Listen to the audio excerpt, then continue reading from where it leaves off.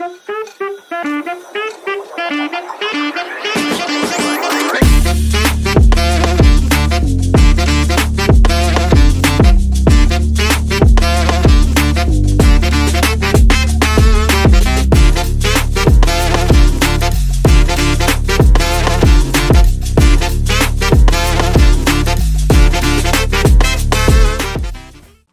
Está começando The Arte no Ar, o seu podcast do mundo audiovisual. Eu sou Luke Lacerda, vou aproveitar e pedir para vocês nos seguirem nas redes sociais, arroba The Arte Brasil, se inscrever no nosso canal e aproveita e dá aquela curtida marota. E hoje eu tô aqui solo, a Thay nos abandonou, né? Recebeu uma proposta aí de três emissoras e ó... Hoje eu tô aqui só, mas olha, vou dizer para vocês, o nosso podcast é oferecimento de The Art, a maior plataforma da comunidade audiovisual brasileira. Lá você pode oferecer o seu trabalho, fazer network e viver de renda extra de onde você estiver. E olha, vou dizer para você que tá me perguntando como é que eu faço para baixar o aplicativo, aponta o seu celular pro QR Code que tá aqui na tela. E agora, solo, vou apresentar os nossos convidados de hoje. O nosso primeiro convidado, ele é arquiteto de soluções, formado em engenharia elétrica, atua com engenharia e gerencia projetos há 12 anos. Gerencia a empresa de desenvolvimento de aplicativos Brilliant Apps. E a empresa que criou, que é a empresa que criou o nosso aplicativo, né, o The e por último, e não menos importante, ele é pai do nosso Gael. E esse é o link, produção. O link que eu consegui encontrar, encontrar porque Gael, Gael é amigo de Maria Isis e Ana Lua, filha da nossa segunda convidada. Ela que é jornalista, publicitária, arte educadora por formação, atriz há 18 anos, produtora audiovisual há 8 anos, já dirigiu, dirigiu três curtas-metragens, inclusive, ó, maravilhosos. E desde a pandemia, ela é empresária no setor publicitário e hoje ela também é CEO do aplicativo mais bombado do momento, The Art. E uma salva de palmas para Thay Aguiar e Gabriel Gandra. Chegamos! Boa tarde, muito obrigado. Obrigado Eu muito vocês. feliz com esse convite. Ia dizer muito obrigado vocês por terem aceitado o convite de vir aqui no nosso Para por programa. ter aceitado o meu currículo pra estar trabalhando aqui. E olha, vamos, você já conhece tudo aqui. O que, o que, como é estar aí do outro lado, hein? Eu tô, eu tô aqui com um pouquinho síndrome de apresentadora, não larguei minha, minha plaquinha. Estou aqui querendo me meter no que você está fazendo, mas Tá- tá tudo bem. Quer vir pra cá? Não, tô bem aqui. tô- acho que fiquei mais bonitinha sem o fone, não fiquei. Tá passando meus Tá linda, tá maravilhosa. E olha, vamos pra aquele primeiro quadro que todo mundo já conhece. Quem é você na fila do catering? Vou perguntar primeiro pra Gabriel Gandra. E aí, quem é você na fila do catering, Gabriel? Bom, eu não sei o que que é catering, mas eu imagino que é alguma coisa relacionada do cinema, do audiovisual, Isso, né? aquele lugar lá que todo mundo vai comer, que todo mundo vai desesperado. Quem é você Ah. Fica na aquela fila gigantesca. gigantesca no set de Entendi. gravações? Eu lá no set de gravações, eu sou o cara dos bastidores. Aquele cara que fica no cantinho, mexendo nos equipamentos eletrônicos, desenvolvendo as soluções, programando. Então, não sou o cara que tá sempre na frente das câmeras. Essa é a minha primeira vez. Tô me sentindo muito Tá confortável. nervoso? Muito pouco. Ai, menos que do que eu imaginei que ia estar. Então fico feliz porque acho que consegui ficar bem à vontade com vocês, Nasceu pra tá? isso, né? Nasceu pra isso. Não, não nasci pra Você isso, sentiu mas isso hoje, né? fiquei à vontade com vocês, graças a essa energia que tá rolando aqui. É, muito bom. E você, Thay Aguiar, quem é você na fila do catering? Ai, eu sou aquela que entra várias vezes, né, na fila. Que eu já trabalhei em várias áreas do audiovisual. Eu comecei a minha carreira como atriz. E desde os 15 anos, mas eu trabalhava muito no teatro, né? Então era, era aquela coisa. Era, quem trabalha com teatro sabe, né? A gente tem que estar sempre autoproduzindo, você faz um pouco de tudo. E eu fiz faculdade de comunicação e jornalismo, fui trabalhar como repórter numa TV na região dos lagos, e aí lá, acho que as pessoas não sabem que às vezes o repórter, ele faz a pauta, ele faz, ele entrevista, e ele faz a edição depois, né, tá junto com a edição. Ele faz o roteiro, ele produz. É, ele faz tudo, né, o repórter ali, então isso me deu muito é, essa negócio de Esse feeling. é, de feeling de produzir, né, audiovisual. E aí quando eu voltei pro Rio, né, porque eu sou carioca, mas eu fui lá para trabalhar. Quando eu voltei pro Rio, eu comecei a trabalhar muito com publicidade. E como eu também fazia publicidade como atriz, né, fazer os comerciais. E como eu fazia é, é, essas publicidades, comecei a fazer muita amizade é, no meio. E acabei trabalhando é, também na produção. Trabalhei na O2 Filmes. E a O2 fazia também muita, muito comercial. Então, eu trabalhava, às vezes, como atriz. Quando não estava como atriz, estava na produção. Às vezes, como assistente de estúdio. Na época que ainda se fazia teste presencial, né? Que recebia cacheteste. Que a gente recebia cacheteste. e aí, eu trabalhei muito nessa área. Em 2015 que a gente, junto com essa galera toda que eu conhecia, né, da publicidade, a gente criou um coletivo criativo que é o Inset Canal. Canal Inset. Que tá lá cheio de produções nessa. E aí lá eu comecei a produzir muito, né? Porque era muito a galera fazendo, então a gente atuava, produzia, editava, aprendia a editar ali. Tem produções que eu escrevi no canal Ah, 7. pois é, eu vou falar disso. e aí lá eu tive a oportunidade, porque como a gente vai fazendo de tudo um pouco, da gente é, de eu poder dirigir curtas-metragens, às vezes dirigir algumas sketches lá também. E era bem um coletivo criativo mesmo, né? Todo mundo fazia. E a gente tem nosso filme lá, que a gente inclusive fez, que eu dirigi junto com a Bia Oliveira, que Sim. foi a nossa primeira convidada. Nossa primeira convidada. Né? Então, assim, comecei a, a trabalhar em várias frentes. Na pandemia, né, a gente tem que sobreviver. Acho que a galera toda da arte sofreu muito, né? E aí eu criei o, o minha agência, né? Foi o de- momento que você migrou aí da vida É. artística. Mas aí a gente volta, né? Porque a gente, Sim, é o que eu tava a- falando pra você mais cedo. É, tipo, fugir da arte, a arte fez A arte volta te puxou de aqui. volta. Vem aqui que aqui é o seu Vem lugar. aqui. E cá estamos nós novamente. Então eu sou aquela que entra várias vezes na fila do catering. E repete. Repete. Muito. É atriz, produtora, Olha, eu chego lá primeiro, oi, eu sou a. Não, roteirista eu não me, não me arrisco, não. Já fiz contigo, mas eu não. Já escreveu comigo, É, já. Se eu for contar aqui é a gente escrevendo, é melhor deixar É óbvio. melhor deixar em off isso. Mas é isso, eu sou aquela que entra várias vezes. Oi, eu sou a diretora, oi, eu sou atriz, oi. E aí vou comendo vários pratos. Sim. E aí, você é amiga do Gabriel há quanto tempo? Vocês se conhecem há. Cara, faz muitos anos. Acho que né? uns 15 anos, né? Por aí. A gente fez uma viagem junto também, que estamos, se a gente sentar pra falar dessa viagem aí é Sim, coisa... é muita coisa. Então eu vou entrar naquele momento E aqui. ele, do nosso- é, ele é padrinho da minha filha e eu Sim. sou madrinha do filho dele. Que Olha que maravilha. legal. Maria Isis, Ana Lua e Gael. Beijos. Ma- mamãe e papai aqui. Ai, filha, te amo. Filhinho, eu também te amo. Então vamos para o momento do nosso programa. Pede para sair que a galera manda perguntas nas caixinhas de pergunta e o apresentador aqui aproveita e faz umas perguntas polêmicas. Estou até com medo. Vocês estão preparados? Pede para sair. Já vai começar assim? Gabriel então já tá tá bom. levantando já. Vamos lá. Gabriel já tá se ajeitando pra ir embora. O programa é assim, começa nesse... É assim. É, é começa- assim, ó. É assim desse Pá. jeito. Gente, eu pensei que ia aquecendo, não, Não, né? a gente Mas já tá aquecido, assim. a gente já Tá, aqueceu no então vamos. camarim. Então vamos lá. Olha, eu quero saber de vocês como é que surgiu a ideia do The Art. Quer que eu fale primeiro? Pode falar. Tá. Então, é, a gente, é, assim, como eu trabalhei na área, eu, eu senti, né, uma falta de uma demanda, ali, uma demanda, né, de trabalho que a gente vê muito é, os artistas querendo aparecer, querendo mostrar o trabalho, a gente vê muito é, produtoras que têm as suas equipes fechadas, e aí a gente vê profissionais que estão ingressando com dificuldade de entrar no trabalho, né? Então, a gente pensando né, nessas questões todas, inclusive a questão de rede social, que ele vai falar mais, né, sobre algoritmo e tudo mais, e, e que os artistas têm essa dificuldade.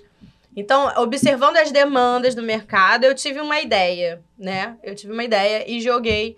E o Gabriel, excelentíssimo, fez a ideia sair do papel. E foi uma, foi, foi uma reunião de um café, né? Que a gente que surgiu o The Arts. É, eu tava pensando assim, se a gente olhar o mercado de trabalho dos artistas, vamos né, especificar os atores, né, a gente poder ter um exemplo para dar. Você tem um, um nível que fica uma, uma massa muito grande, e aí os que conseguem atravessar essa barreira, aí eles despontam, né, e, e vão rumo ao Sim. céu. Mas para atravessar esse primeiro degrau é, é muito difícil e, e, e é e existem muitas barreiras para isso. Também as produtoras não querem ficar testando uma infinidade de pessoas. Então a gente sempre quis trabalhar, fazer algum projeto que ajudasse essas pessoas a romperem essa primeira barreira ou que dividisse isso numa coisa mais distribuída. Então, eu acho que é, vendo essa demanda que existe no mercado, a gente pensou em, em fazer uma. No início, a gente pensou em trazer uma coisa do tipo para ele mostrar um currículo, fazer uma uma coisa profissional, uma ferramenta profissional que ele pudesse mostrar o currículo e tal. Mas depois a gente pensou, cara, vamos fazer uma coisa mais orgânica, uma coisa que as pessoas estejam vendo por interesse. Por quê? Porque a gente tem um, um, um grupo, uma, uma comunidade que valoriza a arte e essa comunidade está ávida por conhecer outras pessoas semelhantes e quer dar espaço para essas pessoas. Então, vamos trazer uma rede social, vamos criar um feed para essas pessoas publicarem o que elas amam, publicar a arte dela, o talento dela para outras pessoas que também se interessam por isso. Por isso. Eu acho que é legal, acho, acho que isso é um espaço que existe, porque se a gente olhar outras redes sociais hoje, por exemplo, fica muito fica pouco, sobra pouquíssimo espaço para expressão artística.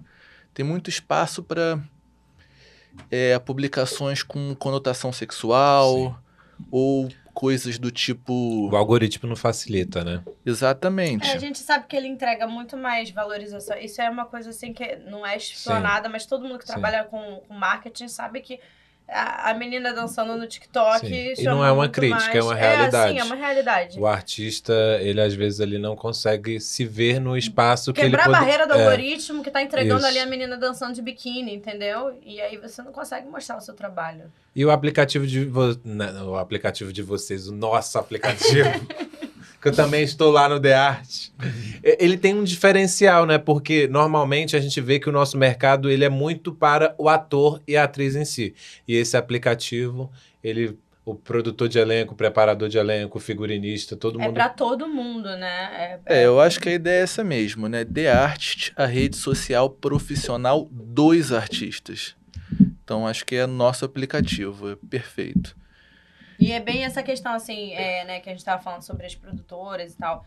É, o cara que é, que é câmera, e, e, e o, o, que eu acho mais legal, assim, é porque a gente consegue se autoproduzir lá dentro, né? Porque às vezes você tem, igual a gente fez lá no início, né? No, no Inset.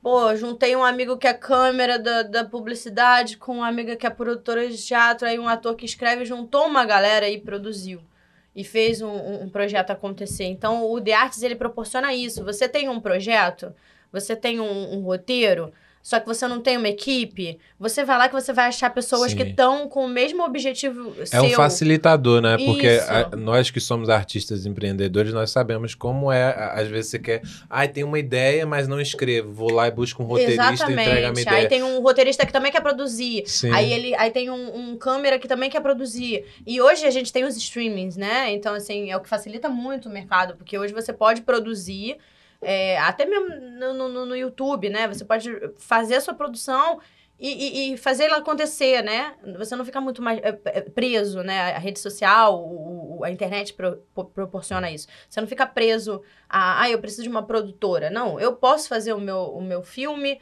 e inscrever em festival. Eu posso montar a minha equipe aqui no The Arts, financiar o meu, o meu, o meu projeto, né? Porque você junta uma equipe, todo mundo financia junto, faz acontecer e aí lá na frente vocês ganham, bota num festival, né? Ou, ou lança uma série no streaming.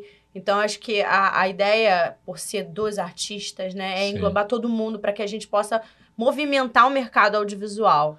E sobre montar uma equipe é muito interessante, né? Porque você pode viver de renda extra de onde você estiver. E hoje em dia a gente sabe como é que funciona o, o cinema, que, por exemplo, você vai fazer uma gravação na Bahia. E aí, às vezes, você não consegue levar toda a equipe, mas aí ali no aplicativo você pode buscar alguém daquele local, né? Como é que foi pensado isso? Sim, ele tem essa função de facilitador do mercado, né? Então você tem uma série de funções e telas para ajudar é, contratantes, ou seja, produtores, diretores de elenco, ou de musicais, né? É, sim, é, Existe até uma... o pessoal do, do, do, videoclipe, né? Publicidade. Isso. Ou então, talvez até para você encontrar um parceiro para um determinado trabalho que precisa ser em grupo ou não. Então, você encontra as pessoas com facilidade. E do lado das pessoas que querem ser encontradas, elas passam a ser encontradas com facilidade. Então, é um facilitador da, desse, desses mecanismos do mercado além de uma série de outras funções, né? como por exemplo é o, um feed, um feed de rede social, onde você pode estar ali aparecendo, mostrando para as pessoas é, o seu talento artístico e por que que nesse espaço você tem uma visibilidade melhor. Porque esse é um espaço que está ocupado por pessoas que, que, que fazem parte dessa comunidade, que valorizam a arte, que estão ali com esse mesmo objetivo. Tanto os contratantes quanto outros artistas também, ou pessoas que, que, que sentam nos dois lados dessa mesa, né? É o que tem muito, né? A gente, hoje em dia a gente tem muito artista é, empreendedor, né? A gente vê Sim. lá o cara que, que bota a mão na massa, Sim. escreve roteiro e vai e faz. Inclusive, quando você fez os seus curtas, a maioria, né? Ai, você que escreveu. Aqui, muito empreendedora, né? É, não, e também tem é, o curta que a gente fez com a Bia, por exemplo, o Ar. É, a gente fez com vários amigos, né? E cada um no meio, era, pandemia. no meio da pandemia, então cada um gravou do seu celular em casa. Então você imagina, você consegue hoje fazer um filme através de arte, você consegue você daqui dirigir um filme com uma equipe lá da Bahia. Ah, eu preciso gravar uma cena na Bahia. Você junta com a galera ali, ó, no, no, no The Arts. Pô, achei um diretor na Bahia, vai ser meu assistente de direção lá e você Pronto. consegue fazer as coisas. É, usar a internet, né, para fazem as coisas isso. acontecerem. Exatamente. É isso. É, qual característica que vocês gostam mais no aplicativo? Eu gosto do feed. Eu também gosto do feed. Porque o feed é, é, ali você mostra ao vivo, né? É, porque você vê muito isso no, no, no Instagram, é. né? Vamos usar, porque foi. Vamos falar mesmo, porque foi o, o que a gente se inspirou, né? O Instagram. Sim. Então, assim, no Instagram, além de ter um, o efeito que eu acho que. Talvez você saiba melhor falar disso do, do ser humano de ficar ali viciado. Sim. Né? É um vício, aquele é negócio vício de ficar do negócio de ficar. Você tá ali mostrando trabalho, né? Você pode, tipo, e... ah, eu tô, num, eu tô num set de filmagem, mas eu não consigo produzir um conteúdo rápido aqui. Pô, tu tirou uma foto no set de filmagem, fala, set de. Pá, postou, já tá ali, você já tá mostrando teu trabalho. Sabe o que é interessante desse feed? É que a gente tá vendo hoje aí a, a comunidade crescer aí de uma forma exponencial e a gente vê que as pessoas se sentem seguras à vontade de publicar o trabalho artístico delas. Enquanto que em outras redes a gente não vê toda essa, essa segurança, porque o público é diferente. Então ela sabe Sim. que ali ela tem um público que gosta de ver aquilo, vai receber bem aquilo. Enquanto numa outra rede social ela pode estar tá hesitando por estar tá prevendo que o público vai ter uma, uma reação. Talvez, às vezes o público não é muito chegado à arte. Sim. Então, não fica uma coisa tão legal, enquanto que nesse feed fica, já que é uma comunidade que gira em torno realmente da, da, da questão artística, né? Sim. Não, tem uma coisa muito legal que eu vejo que, por exemplo, no Instagram, os artistas ficam. E eu tô falando isso porque eu já escutei pessoas que estão hoje no, no The Art que falaram isso pra mim: nossa, eu fico aqui disputando, às vezes eu não posto porque eu tenho que as pessoas se prendem às métricas Sim. de vaidade, né? Fica di disputando com outras com pessoas. algoritmo, ai meu Deus, eu preciso de engajamento tudo mais. Então, essas métricas de vaidade, dentro de uma plataforma que, que é o Instagram, que você não tem um nicho, né? As pessoas não estão interessadas no seu negócio, você fica preocupado em postar, porque, ai, se eu postar, não vai ter tantas curtidas, não vai ter tantos comentários, não sei o que, o público não gosta do meu conteúdo.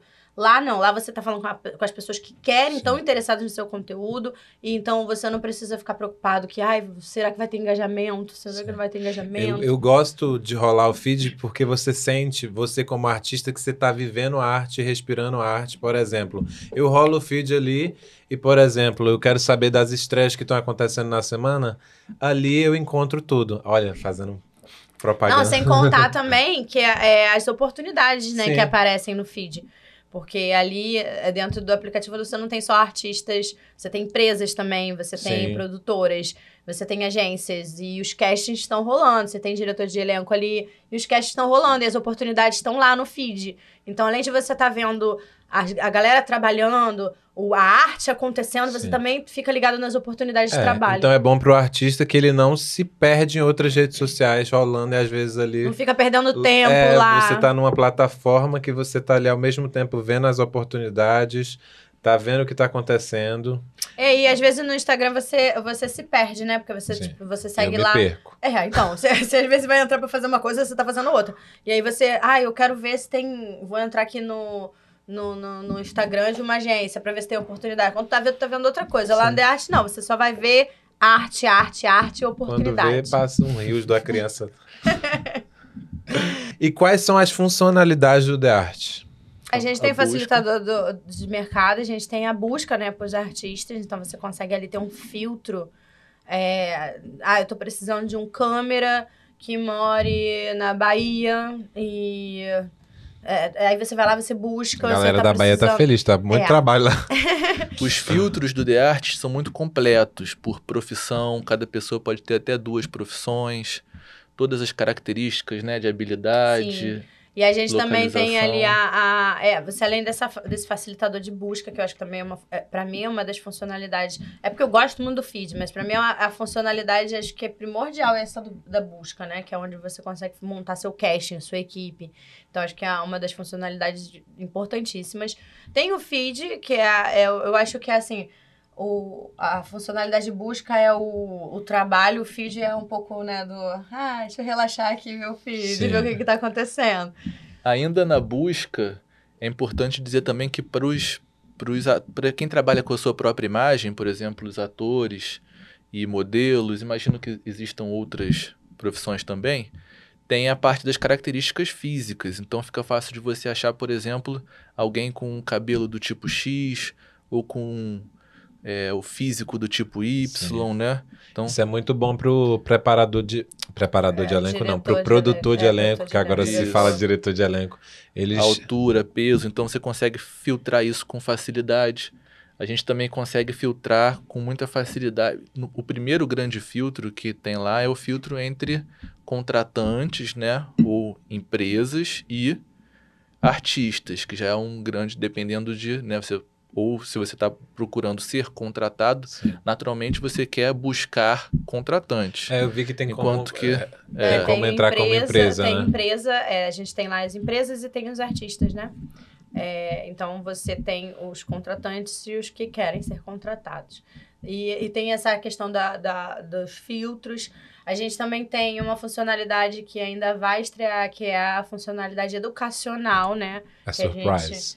Que são os cursos, né? Não é surprise, Não é, mas não. como né, a equipe é altamente seletiva em que cursos são esses que vão entrar, seletiva do ponto de vista de é, apresentar para a Quer comunidade entregar o melhor também, né? É, Exatamente. somente produtos que realmente venham a agregar, né? Não, não nada assim que seja que a gente tem que fazer esse filtro, né? Sim. Para não chegar uma coisa que é, É, não é, é, aberto, golpes assim, de qualquer- marketing. é. né? Vocês vão não quer deixar produzir. Então, a gente tem algumas coproduções e temos também pessoas que vão colocar o curso que já tem, né?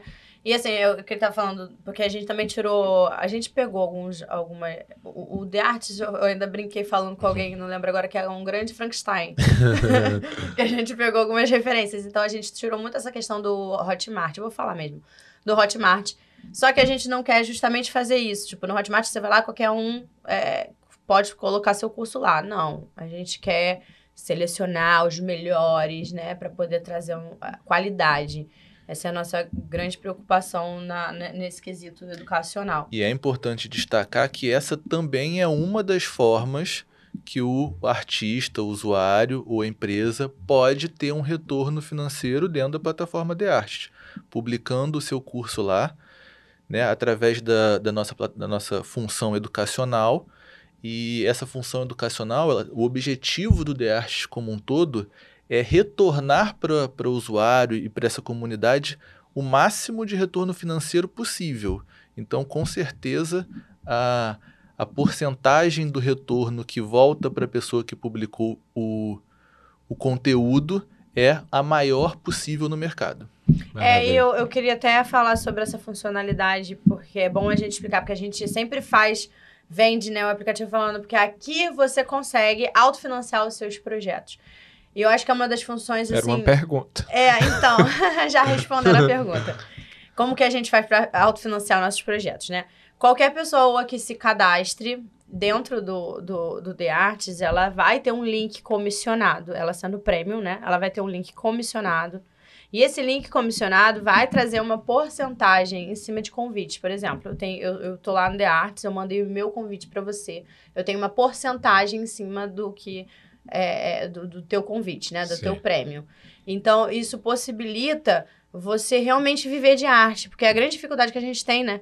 É, é, como É é, que a gente de viver de arte? é muito difícil.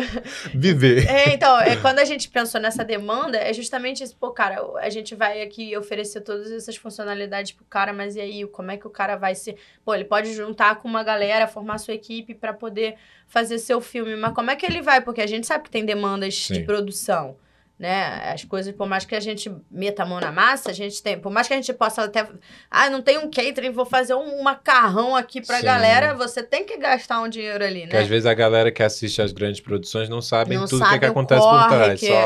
olha o filme lindo ali, mas por trás aconteceu que é. muita coisa. Às vezes está sendo lançado hoje, mas foi feito há um, dois anos atrás. É, não, e, e- e a gente viu muito isso pós-pandemia, né? As pré-estreias todas de filmes que foram gravados dois anos Sim, atrás. Dois anos atrás. E, e a nossa ideia é justamente que o artista possa é, viver da arte dele ali, né?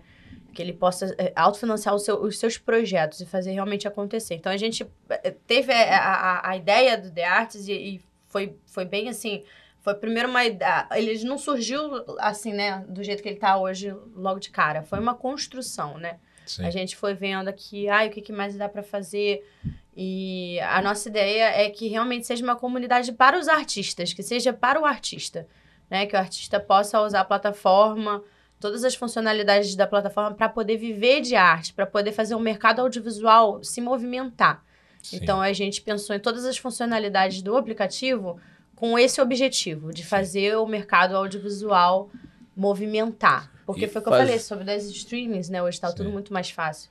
Fazendo um gancho com aquela anal- analogia que eu fiz lá atrás, né, do primeiro degrau, ser um degrau onde tem uma massa muito grande de pessoas tentando dar isso e tentando transformar isso numa, numa curva mais distribuída, é, isso permite que, por exemplo, se você tem um público, né, você tem pessoas que te acompanham, que pode ser um grupo pequeno, pode ser um grupo grande.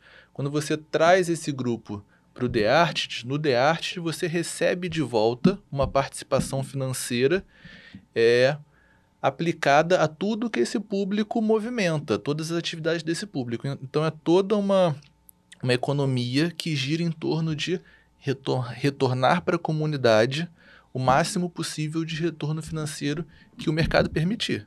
Então essa é a diretriz principal onde a gente constrói as funções pensando nesse caminho. Isso.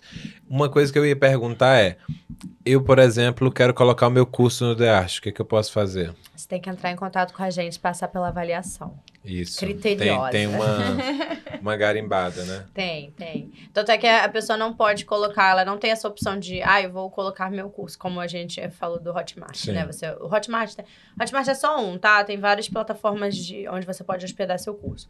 Não é assim que funciona, né? É, você não chega lá, ah, eu vou subir, porque a gente preza por uma qualidade padrão, né? Tipo, não- não- porque tem gente que às vezes grava, um, não, nada contra, né? Não, não criticando. Tem gente que grava, eu mesma já gravei curso de celular. né? Na pandemia, eu vendi curso no Hotmart. então, assim, esse- o primeiro foi gravado no celular. Então, assim, mas a gente está prisando justamente por uma qualidade, tanto de produção quanto de conteúdo. Então, é, não é qualquer pessoa que chega lá e, ah, eu vou, vou hospedar meu curso aqui. Não, você passa por uma, né, uma garimpada. Uma aval- avaliação criteriosa, não é não? Sim, sim. É, o objetivo é, é que o usuário da comunidade ele receba é, conteúdo que realmente faz sentido. Que ele não receba nenhuma um produto de baixa qualidade, nem um produto que seja, por exemplo, é, é, supervalorizado acima do, do necessário, como que ninguém faça é, em cima do, do, do nosso usuário alguma, alguma esperteza do marketing com o objetivo de explorar essa pessoa. A gente tem que fazer pelo, o mínimo, o mínimo de controle para impedir que alguma pessoa se aproveite de outra. Só queria voltar na pergunta de antes, na pergunta das funções, né? Sim. É, tem uma função também que é essencial, que é a página profissional de cada artista. Cada artista pode ter a sua página, que tem um, um design específico, que é um link, né, que é um URL, um link, onde ela pode enviar para qualquer pessoa. e ter ali o currículo dela, com portfólio, com todas as habilidades dela, com os links para as outras redes sociais ou WhatsApp, absolutamente tudo, e também uma, uma sessão da, das últimas publicações que ela fez na rede, né? Ou seja, é um currículo vivo que a pessoa pode usar no mundo, Sim. inclusive fora do The Art. Que é um, é um currículo que sai daquele tradicional, né? Que é, no- normalmente nós que somos atores aí pede, ah, me manda o currículo de vocês, me manda o videobook, tudo Tá desmembrado. tudo lá. Tá tudo em uma única página. Exatamente. Que E quando maravilha. a gente estava falando da questão do, do curso, que eu, eu lembro que a gente já conversou sobre isso há um tempo atrás, a gente que é artista, a gente se preocupa muito com isso, né? Sim. É, de, porque a gente está lidando com o sonho das pessoas. Né? E a gente sabe que hoje o marketing digital vem pesado e a gente, a gente preza por proteger o nosso usuário, Sim. sabe? Porque a gente sabe que a galera que tá, a galera que tá na arte, que tá nesse mercado, a gente tem um sonho.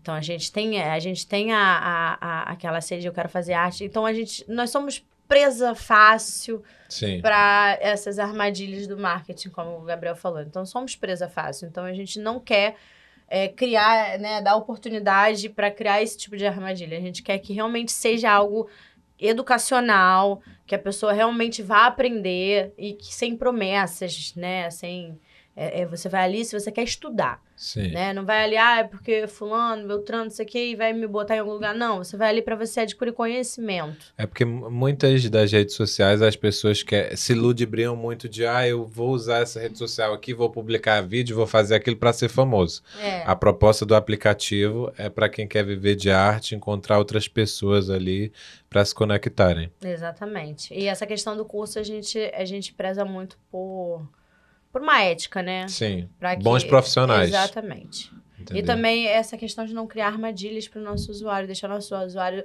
é, à vontade dele saber que ali ele pode se sentir seguro, ali ele não tá. Ele está protegido. Está protegido, exatamente. Então, qual o propósito do The Art? Eu acho que o propósito principal do The Art é movimentar o mercado audiovisual e dar oportunidades para todo mundo. Eu enxergo dessa forma. Como é que você enxerga, Gabriel? O propósito do The Art é pegar aquele degrau alto, que as pessoas estão todas aqui, ó, tentando subir nele, mas ele é alto demais, e aqui tem um, um mar de pessoas ten- tentando subir nele, pegar esse degrau, pegar uma marreta e bater bem aqui nele, ó, Hum. até ele fazer assim, ó, Virar uma rampa. virar uma rampa. E aí permitir que mais pessoas consigam subir esse degrau. Que tem acessibilidade. Adorei, Gostei. adorei essa Gostei analogia. dessa analogia. Que tem acessibilidade para todos. É muito bom isso. Muito É, bom, ou muito bom. seja, gostei. The Art é sobre acessibilidade. Exatamente. Vou pular do autofinanciar, né? Que alguém Já foi, se já pergunta, respondi. Você olhou o roteiro antes. Como é que foi criar o The Art? Antes disso, posso voltar numa função importantíssima? São tantas Pode, funções que a gente com acaba, certeza. a gente acaba passando, né? Mas acho que tem uma função importante que é olhar pelo lado dos contratantes. É claro que os contratados os artistas são a grande maioria, mas para facilitar a vida dos contratantes, principalmente quando a gente olha o The Artist na versão para computador, né? Para notebook, que é a Sim. versão web, que ela é, tem um layout totalmente diferente, porque no computador você tem uma tela bem maior para trabalhar. Sim. E o contratante, o que, que ele quer? Ele quer navegar por uma grande quantidade de pessoas rápido. Então, acho que tem duas funções na busca do lado do contratante que é muito importante a gente destacar. A primeira é os favoritos, né? Você consegue passar por uma, por uma visualização onde você vê cards de pessoas, né? Que são ali o, o nome, a foto, nome, o título da pessoa e as informações principais, que são profissão, idade e localização.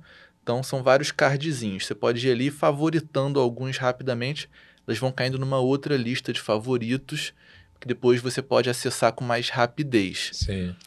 E a segunda é o, a visualização de perfil completo na aba lateral, sem precisar você navegar até o perfil da pessoa. Se dentro dessa lista você for clicando nas pessoas, ela vai abrir um, uma abinha na sua É, eu vi direita. essa funcionalidade muito boa. E ali você vai ver o perfil completo da pessoa sem precisar ir até a página da pessoa. Então você pode rapidamente ir trocando as pessoas ali, conseguir mais informações da pessoa é, numa velocidade muito maior, né? Então, é, esse layout foi pensado em agilizar a vida do Esse contratante. cara é um gênio. Nessa rede social eu consigo seguir as pessoas ou Sim. apenas favoritar? Como é que funciona isso? É a, fun- é, a função de seguir é de favoritar, né? Não, não. A função de seguir, ela é uma função de seguir, exatamente como é nas grandes redes sociais. Você segue e, e o nosso algoritmo interage com isso e aumenta as probabilidades de uma publicação dessa pessoa aparecer para você. Você pode também curtir. Hoje, no nosso feed, só quem pode ver a quantidade de curtidas é a própria pessoa que postou. Acabou esse negócio de mé- métricas de vaidade, viu, galera? Fica à vontade com a questão de Mas é que engajamento. é- Pode postar à vontade. O artista ele fica louco, né? Publiquei aí, tipo, Ai, não tem "Ai, ninguém curtindo. ninguém curtiu, vou ocultar, vou excluir. É, Quem nunca? É, isso é uma. uma... Foi pensado para dar a essa comunidade uma, uma questão assim mais de oportunidades iguais. É que né, o de artista não- ele é muito vaidoso. Aí ia falar uma É. questão de leveza. É, porque a gente vê, foi o que eu falei, né? A gente fica preocupado muito com o que eu acho até injusto no, no, no Instagram, por exemplo, que aí você quer mostrar seu trabalho, você fica preocupado com engajamento, você fica Sim. preocupado com a hora que tu vai postar, tu fica preocupado com N questões. É, ah, porque a menina de biquíni ganhou mais engajamento que. Sim. E, E são às vezes um- métricas de vaidade que às vezes te prejudicam pra você Sim. mostrar seu trabalho. Porque tu não, não posta porque tu tá com medo de não ter curtida. E às vezes um trabalho mega Exatamente. importante, uma estreia muito importante, dá menos visualização ou menos Do engajamento que- do que uma outra coisa que não tem nada a ver. Exatamente. Isso é muito bom. Vamos tirar esse peso, né? Esse peso que está nas, nas costas das pessoas, dar ela um, um espaço mais convidativo e focar no que realmente importa, a expressão artística de cada um. Maravilhoso. Ah, moleque. Quais são os planos futuros para o aplicativo? Gabriel, você, programador. Os planos futuros para o aplicativo são a gente poder ter os cursos, já oferecer esses cursos para os usuários, que eu acho que isso encurta ah, as necessidades do, desse público e entre as coisas que uma plataforma dessa pode oferecer. E Eu acho que essa, essa, essa, os planos futuros é, é bem nesse caminho, porque eu acho que é, eu acredito, a gente já conversou sobre isso também, é, acho que até aqui no, no, no podcast, Podcast. que projetos audiovisuais, eles tomam, eles tomam vida própria, né? As coisas, às vezes você tem uma coisa no roteiro, sai totalmente diferente do que aconteceu no roteiro, porque as coisas vão acontecendo. Então, assim, a gente tem em vista o lançamento dos cursos para 2024, né? Mas a gente não sabe o que mais pode O que que acontecer, pode o que pode acontecer. vir, entendeu? Como é que. a- a- é, é só um bebezinho ainda de artes. Então, a gente vai, vai ver como é que as coisas vão, vão fluindo. E como eu tava falando dos, dos projetos audiovisuais, é, eu já falei desse caso, mas eu vou falar de novo porque eu tenho isso pra mim, assim, que eu falei, meu Deus, esse filme tem vida própria. Que o apenas 10%, a gente Sim. não tinha nem o nome do filme. O nome do filme tava. E a gente foi pra uma locação é, que não, não era a locação que a gente ia fazer. Não tinha sido planejado. Não tinha sido planejada, aí a gente locou uma casa, o cara da casa falou, poxa, vocês vão fazer um filme assim? Pô, tem um, um, um- lugar ali muito sinistro que vai ter um. Vai ser um. vai ficar maneiro pra vocês fazerem essa cena. E a gente foi lá e a gente viu lá o nome do, do, do filme, né?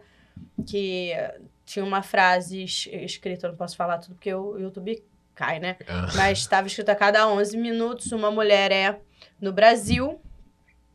é, e apenas 10% dos casos são notificados. Aí foi o nome do filme apenas 10%, porque a gente já tinha, já tinha, parece que um documentário, né? Sim. A cada 11 minutos. E aí, e aí surgiu. Então, assim. Inclusive eu- tinha no roteiro, né? A gente. era, era a frase o, final. O nosso filme terminava com essa frase, então e a tava coincidência. pichada no, no Sim. muro. Parece até que foi a gente Sim, que parece fez, que a né? gente que pichou. Foi a arte, não tinha nem produção de arte. E aí, assim, eu, eu vejo muito que os projetos são assim, né? Eles, eles nascem, é igual filho também, né? Que a gente, ele nasce, a gente acha uma coisa, que virou outra coisa. Gabriel, mandaram É, uma. eu- Ah, fala. Gabriel Mandaram nem- pergunta já, já me deixa nervoso. Mas acho que para responder essa pergunta, qual é o futuro do, do, do The Art? Né? Quais são os próximos passos do The Art? Eu acho que para responder essa pergunta, seria legal fazer uma outra pergunta. Qual é o futuro das demandas do mercado de trabalho audiovisual. Maravilhoso. Já vou contratar como roteirista. O futuro do The Artist é perseguir Exatamente. essas demandas de com proximidade, construindo essas pontes e fechando esse zíper. Eu adoro que ele usa Uau, várias ana- ele analogias. tá com as analogias aqui. tipo, é, perguntaram se você já teve alguma experiência no meio artístico. Ou você caiu. Eu acho Bem- que isso aqui, isso é uma experiência no meio artístico. É, você já fez Muito. figuração? Já fez figuração? Não sei nem o que é isso. Nossa. Deixa pra outro podcast. Passa! Vocês tiveram medo na hora de criar o aplicativo? Algum medo? Medo? Não. Eu tive medo, de Medo? fazer o podcast. Medo da concorrência, Thay? Não, não, não tenho medo da concorrência. Aqui é abrir concorrência, bate continência. Não, não tenho medo, não. É um pouco de receio, que o, Gabriel já puxou até minha orelha em relação a isso, que eu tenho um pouco de síndrome do impostor, né? Aquela coisa. O Gabriel brigava muito comigo, né, no início. Você tem que botar a cara! Tem que botar a cara! E, e é uma coisa que eu ficava muito.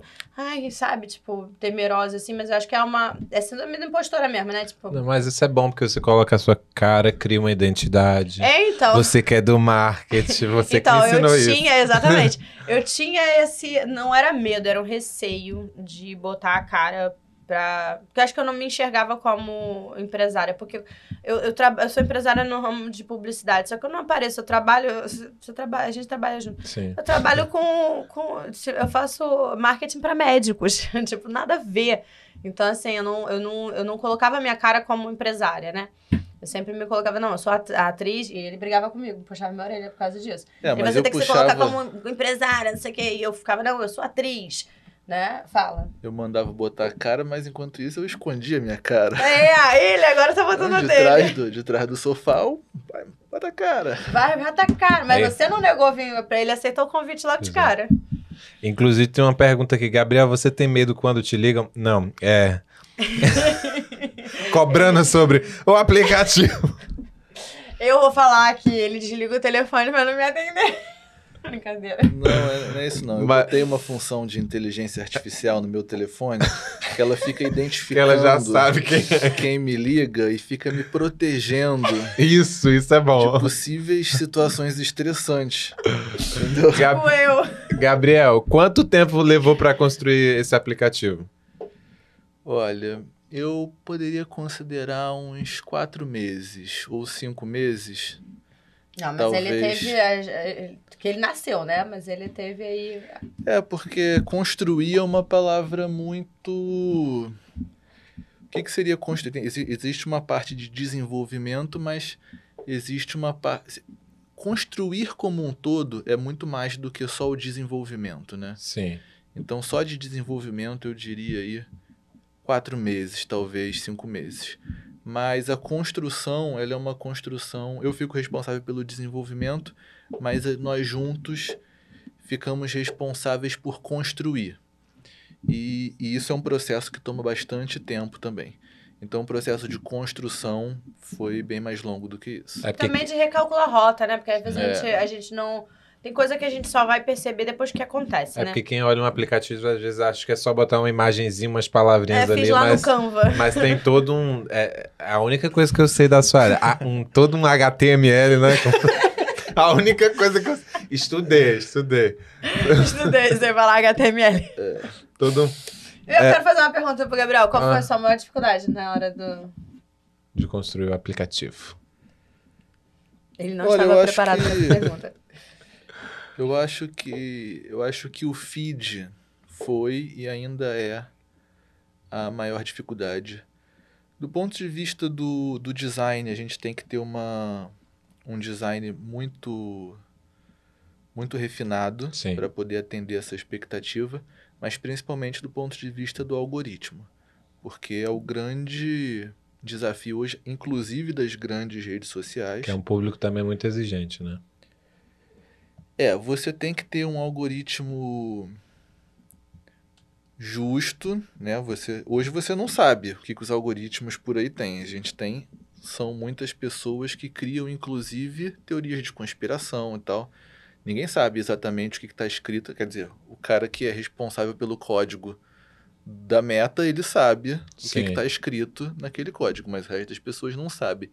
Então, quando eu, eu olhei e olho para esse código e tenho que colocar ali quais são as quais são as lógicas que vão prevalecer o que, eu, a- isso é um grande desafio.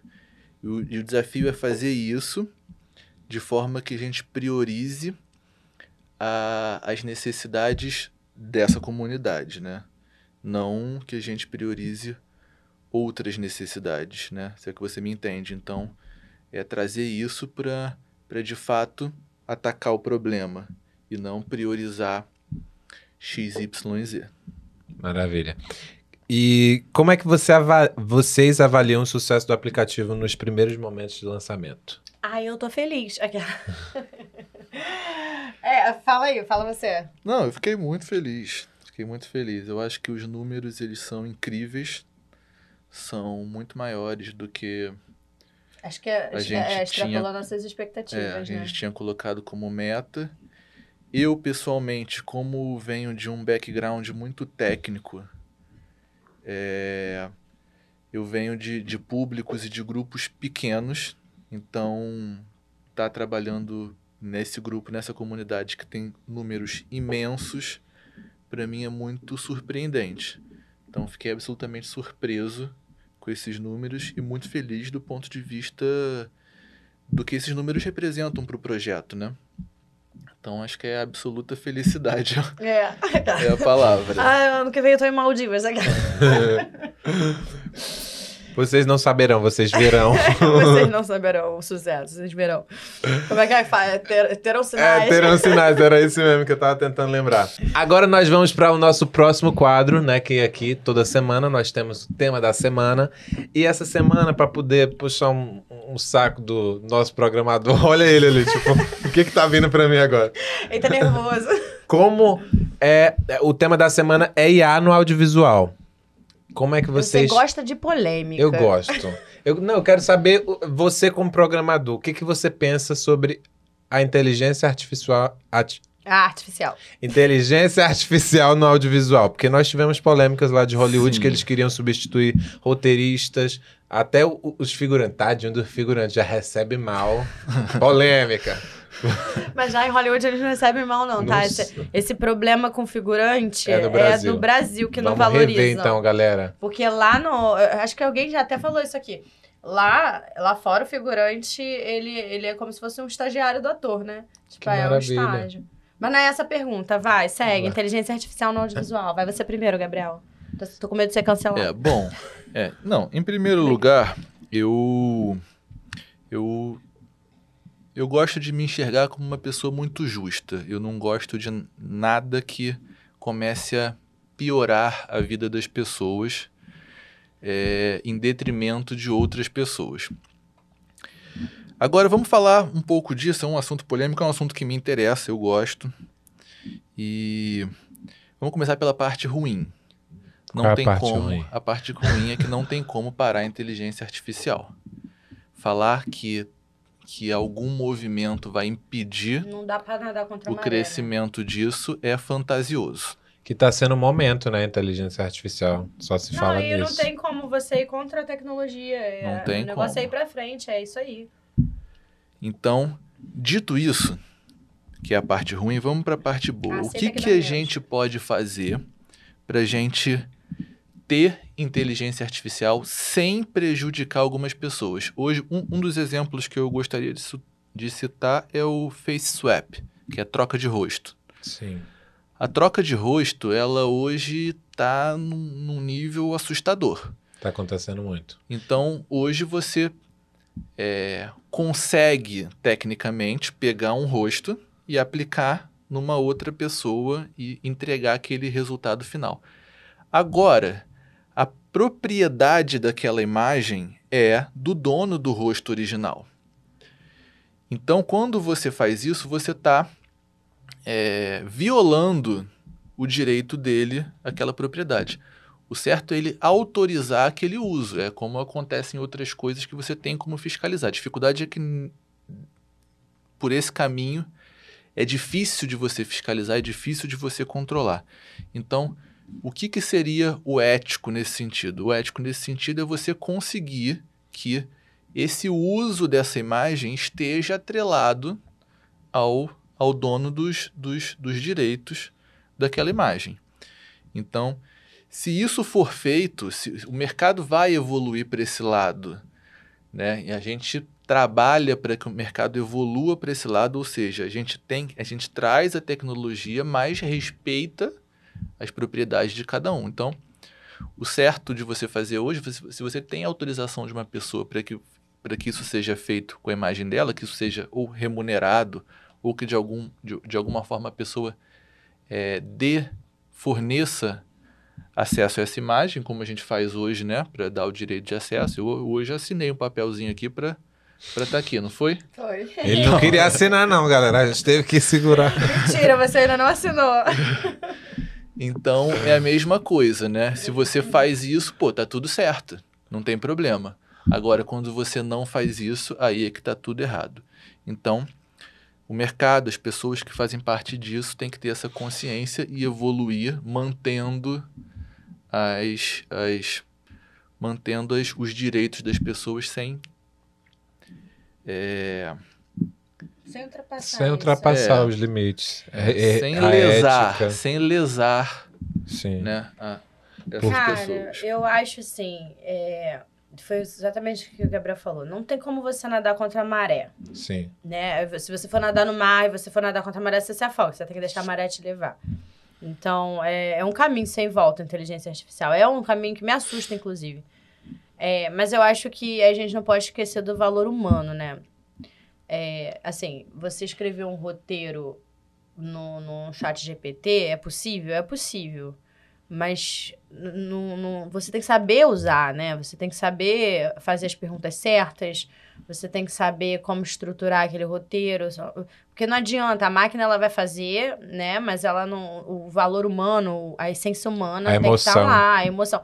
Ainda mais falando agora, você falou desse, desse- de troca de rosto, eu acho isso, sim, isso me assusta muito como artista, porque parece que daqui a pouco não, a gente vai vender só uma foto, né? Não, mas Cadê a emoção? Onde é que tá? inclusive muitos trabalhos hoje em dia que às vezes pede stand-in porque a atriz principal, alguém principal não vai estar, a pessoa faz ali todo o trabalho porque tem um corpo parecido e na edição ele só Eles coloca o botam rosto. o rosto. É. Entendeu? isso já acontecia antes disso, Já acontecia, né? mas, não agora com a inteligência rosto, artificial é. já tá vindo. Então, assim, é, mas até isso, um artista, ele não é um ator, né? Vamos lá no ator. Porque, por exemplo, o roteirista, né, o que aconteceu lá em Hollywood, é, o roteirista realmente é uma coisa muito complicada, porque a gente vai ver, eu não tenho nem opinião ainda formada sobre isso, porque a gente vai ver o quê? Vai ter um roteirista principal, mas a gente sempre tem uma, uma caralhada de, de, de, de roteirista trabalhando naquela, naquele projeto. A gente vai diminuir isso, né? O número de pessoas.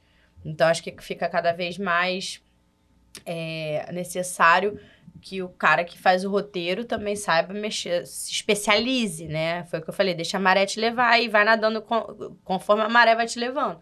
Então você vai ter que, o, o cara que escreve o roteiro vai ter que aprender a lidar com essa, com a inteligência artificial para ele poder, né, se, destacar. Agora, sobre a questão do ator, do ator. Porque a greve que teve lá em Hollywood foi a dos roteiristas e a dos esse atores. negócio do, do, do, do, ai, vou trocar o rosto e tudo mais. Cara, por mais que você troque o rosto, o ator não trabalha só aqui, né? Não é só isso aqui, tem o corpo. Então, por mais que seja um stand-in, é um corpo que tá atuando também, né? Sim. Não é só um rosto. E eu acho complicado esse É que eles negócio. querem diminuir o custo, né? Tipo, pegar uma atriz muito foda, nananã, Pegar a Angelina Jolie. aí pega alguém é... ali, só- ela assinou, botou o rostinho dela em outra pessoa. Assim é fácil, Isso né? é também. complicado, né? Isso é- Então, é, é- é uma coisa assim. É porque tem que pagar bem o justo. O justo que o artista quem merece. É, que o Ah, artista não, merece. ah, Aí você ele desvaloriza o trabalho da pessoa. E a pessoa tá atuando. Pode não tá atuando com o rosto dela, mas o corpo dela tá atuando também. Porque o trabalho do ator foi, Sim. foi o que a gente falou. O, o nosso, a nossa ferramenta de trabalho é isso aqui, entendeu? Então, é, é complicado. não é quando- só um rosto. Quando isso acontecer, a, a lei do mercado vai meio que contrabalancear isso, né? Se você botar a cara da Angelina Jolie e do Brad Pitt em todos os homens e mulheres no audiovisual, você vai ter tanto Angelina Jolie e tanto Brad Pitt que as pessoas vão passar a querer mais ver outras pessoas. Hoje eu gostaria de ver o Brad Pitt e a Angelina Jolie. Por quê? Porque eu não tenho 200 deles na minha frente. Mas quando eu tenho 200, eu vou fazer questão de ver o Luiz. Entendeu? Então isso vai se. isso vai se, se balancear. E, no, e no lado do roteirista, eu acho legal que é uma. Por exemplo, o, o que o Chat GPT hoje, que é uma inteligência artificial generativa, falta muito nele é a originalidade. Na verdade, ele é uma, uma um sistema que busca tudo que os humanos já fizeram e trabalha em cima disso.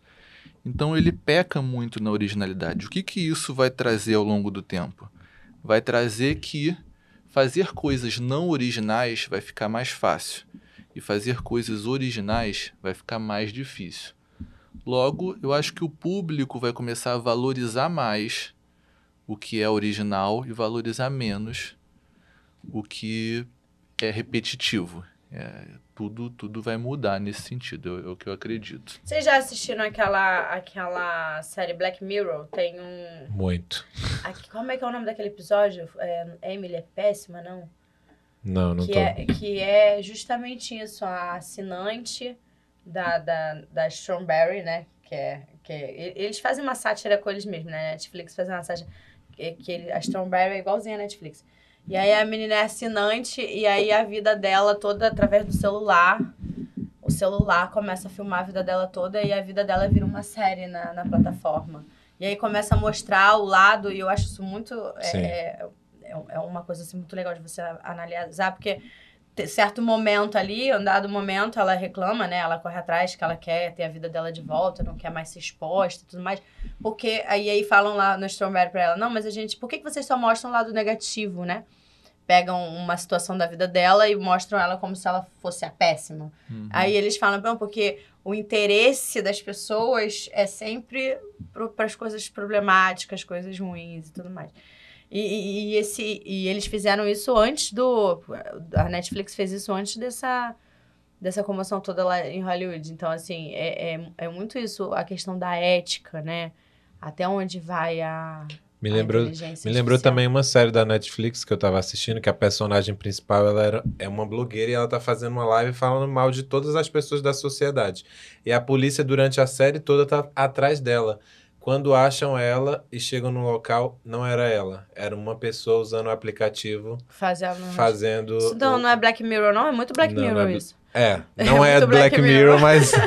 É meio. Isso é E muito é isso. Black Mirror. Então, galera, vocês que estão aí de casa, comentem sobre esse assunto polêmico. Tentem não ser muito polêmico ou sejam muito polêmicos. Não, sejam polêmicos. Comentem aqui embaixo, que eu quero saber a opinião da galera aí sobre E aí a gente agora- inteligência artificial. É isso. E agora a gente vai pro nosso próximo quadro, que é Não sei, só sei que foi assim. Ai, bota o sotaquezinho de novo, vai, fala de novo. Eu não sei, só sei que foi assim. que é aquele bate-bola. É bate-bola mesmo, viu, gente? Ai, peraí, deixa eu respirar. Tá? Tá, e Gabriel, qual personagem de cinema vocês gostariam de ser por um dia? Gabriel, Que difícil. Leonardo DiCaprio? maravilhoso. O Coringa. O Não, Coringa. personagem. É personagem. Perso- Mas é Não, personagem, um personagem. O ilusionista. O vai. ilusionista. Ai, muito bom. O Coringa, o Coringa. O Coringa. Qual o Nossa, melhor, fazer o apli- Coringa é muito a minha cara, né? Qual o melhor aplicativo do mercado audiovisual? Ah, The Art, a rede, a rede social profissional dos, Dos artistas. artistas. Um podcast bom? é o nosso. Um podcast The Art ruim? Não Deixa precisa quieto. falar. tá, escolhe um artista que você gostaria muito de trabalhar. Na Fernanda Montenegro. Ah, e Lázaro Ramos também. Maravilhoso. Tá, e Gabriel, um filme de infância.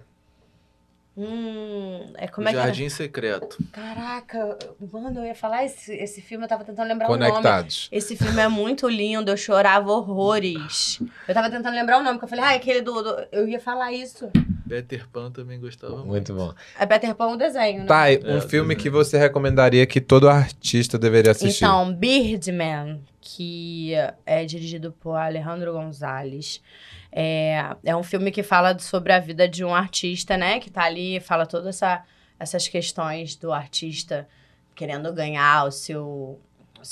A visibilidade, né? Já vou Então, anotar pra assistir. Aí tem, tem, tem, tem o... Em português eu acho que é Birdman, a inesperada virtude da ignorância. Eu li. tá aqui. Não, Gabriel, um filme que todo programador deveria assistir. o jogo da imitação. o jogo Nossa, da achei que tu ia imitação. falar rede social. Não conheço esse jogo da imitação, quero assistir. Um, um filme que todo programador deveria É, um assistir. programador que deveria. Eu achei que você que não ia ter um resposta. bom. Ele veio preparado. Que seja um filme bom. Ele, ou seja, ele disse que a rede social é ruim. imitação. Ele disse que a rede social é ruim? Eu gostei desse filme. Não, Mas não é bom pro programador, não é né? tão bom quanto É só uma esse. fanfic, É, é entendi. tão- E já que, que no- todo brasileiro gosta de novela, uma novela. Uma novela. Avenida Uma Brasil. Novela? Tu não assiste novela, Ele não é Gabriel? noveleiro. Avenida Brasil, gente. Avenida Brasil foi uma das. É, não sei, acho que. nu- Nunca vi uma novela. Nunca foi novela. Não. Tira ele, Assi- gente. Assista a Avenida Brasil, é muito bom. E pra É. finalizar, tá, Já vai Gabriel? finalizar? Não, Mas quero eu falar adoro- mais. Eu que finalizar, ela, esse, eu tem que adoro finalizar ela. esse quadro. Ah, tá, finalizar esse Deus quadro. tá aqui falando 10 minutos. um filme pra rir, um filme pra chorar. Ixi, eu não pensei nisso. Eu choro em muitos filmes. Boa Mas resposta. se tem um filme que eu choro várias vezes e eu vejo várias vezes, porque meu filho tem sete anos, é Divertidamente. Cara, muito bom.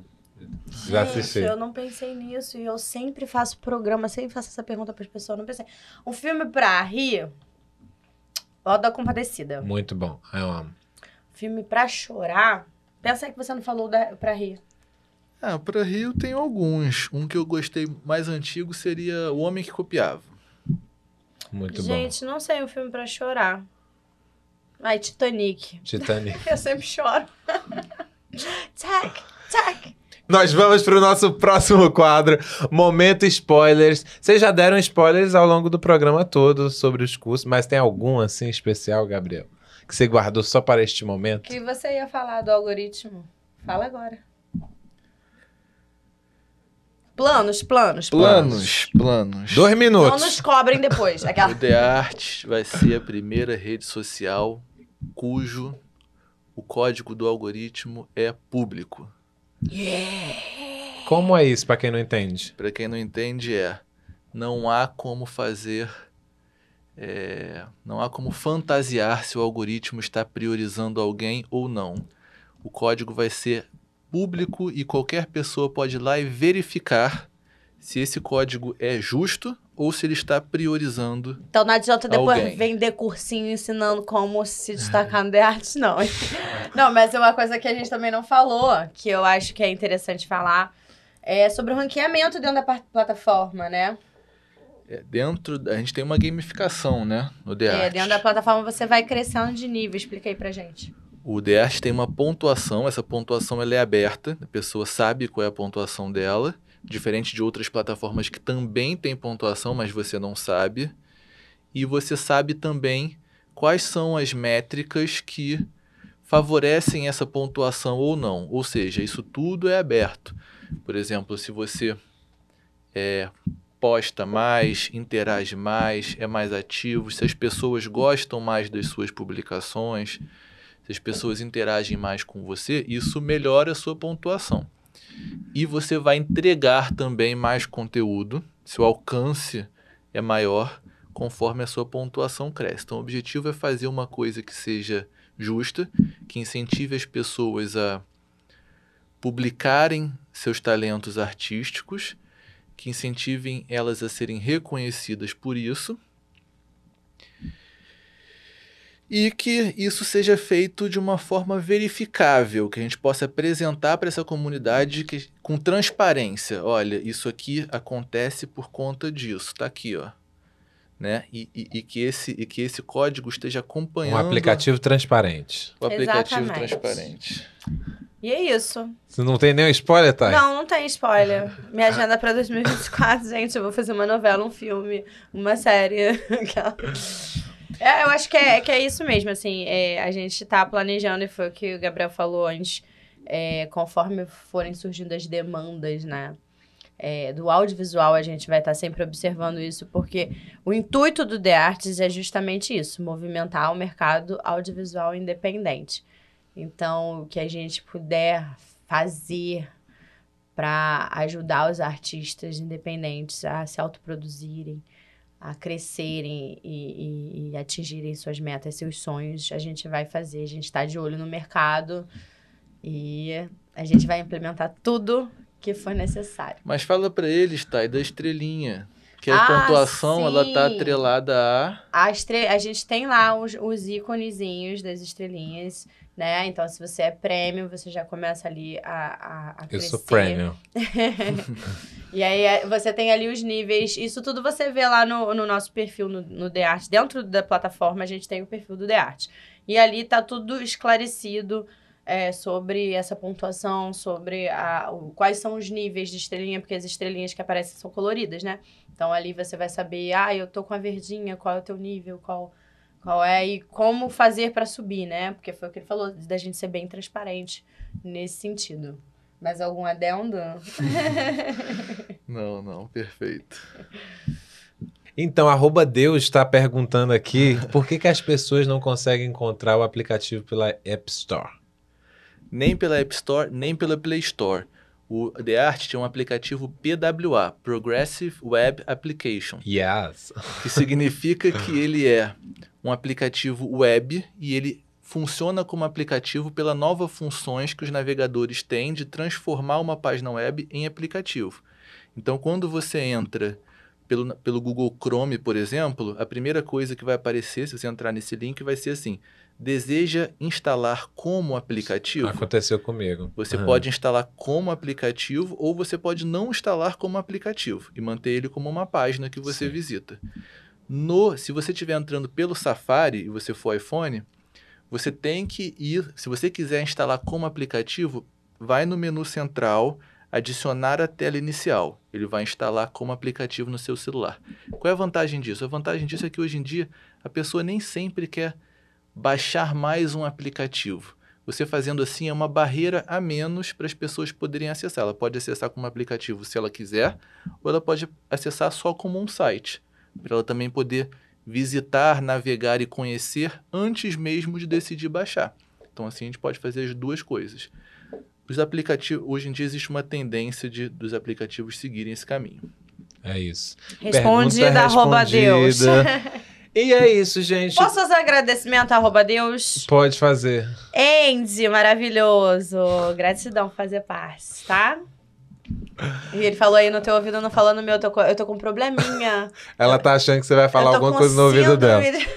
De apresentadora. É isso, gente. Gratidão por Ah, vocês terem vindo hoje no meu Não, programa. obrigado. Muito feliz por essa oportunidade.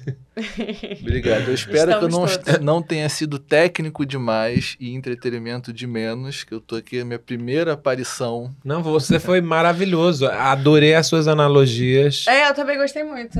Tá de parabéns. Obrigado. Um abraço, um abraço. Ai, vai, gente, junto. Ai, que lindo. Obrigado, gente. É isso, gente. Foi um prazer. Posso finalizar? Ah, então, todo programa. Primeiro tem a minha gracinha, né? Porque Ah, você tá é cortando verdade. meu roteiro. Gabriel, vou te chamar pra poder criar um aplicativo comigo, tá? E Thay, Pode não me demita, por favor. Eu sei que já tem gente mandando currículo. Tá, tá, meu- a minha caixa de e-mail tá cheia de currículo já, de Por favor, você viu tá? como Até a é Xuxa que- tá pedindo. Hoje eu consegui apresentar sozinho.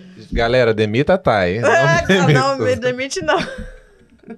E é isso, no final de cada programa, a gente fala uma frase e ela. Não era pra você trazer frase hoje, não, que você tá aí do outro Não lado. interessa, mas, Mas eu não é- trouxe mesmo. Não, não trouxe. Não, eu mas achei eu que você. eu, eu tenho duas frases aqui pra você. Diga. A primeira é: Hum, eu queria saber cantar, porque quem assiste. O, o tempo vai isso, passar. Os anos vão confirmar as três palavras que eu proferi. Amigo, estou. Ai, que fofo. E a outra, que é outra indireta pra você, é. Não tem direto pro Gabriel, não? Gabriel. Ohana quer dizer família. Família significa nunca abandonar. Ai, chat, que fofinho, velho. É pra, é, pra, é pra Maria Isa, Ana Lu e Gael que tá assistindo aí a gente. nossos bebês. E é isso, gente. Nosso Eu programa. quero fica- deixar uma, uma frase também. Vai, fala. Eu achei que você não tivesse. Não sei, só sei que foi assim. Eu vou deixar um beijo pro meu filho. Beijo, filho. Pai te ama. Oh, isso. gente, peraí, peraí, peraí. A caneca. A Não, eu ia, caneca. eu ia falar. Da Yasmin, Não, tem que, tem que fazer um ó. Yasmin também tem caneca pra você, que Gabriel vai chegar. Se ele chegar em casa em algum Yasmin momento. é quem? Quem atura Yasmin. a, a- aqui a, enchendo o saco do marido, entendeu? Se Gabriel não chegar com essa caneca em casa, aqui, ó, estou entregando na mão de Gabriel. Pode deixar, amor. Vou levar essa canequinha pra você. Um beijo. Beijo, Yasmin. Beijo, comadre. É isso, gente. Nosso programa fica por aqui. Se inscreve no nosso canal, dá aquela curtida, nos segue na rede social, segue essa galera na rede social. Gabriel falou que o dele ele é, é, fechado. profile, ele é low profile. Vamos ver, que vai ter uma galera solicitando lá. Vai tá bombando lá, esse seguidor. É isso, gente. Até o próximo programa. Feliz Natal, feliz Ano Novo, que esse é o nosso último programa do Sim, ano. é ano. isso. Olha só, gente. Feliz Natal, feliz Ano Novo Beijo. pra todo mundo. Se inscrevam no The Arts. Não esqueçam, estamos esperando vocês lá. Vamos fazer o audiovisual movimentar nesse Brasil. É isso. Beijos. Amei Beijo, receber vocês, tchau. gente, aqui. Ai, que delícia. Obrigado, foi ótimo. Foi um prazer.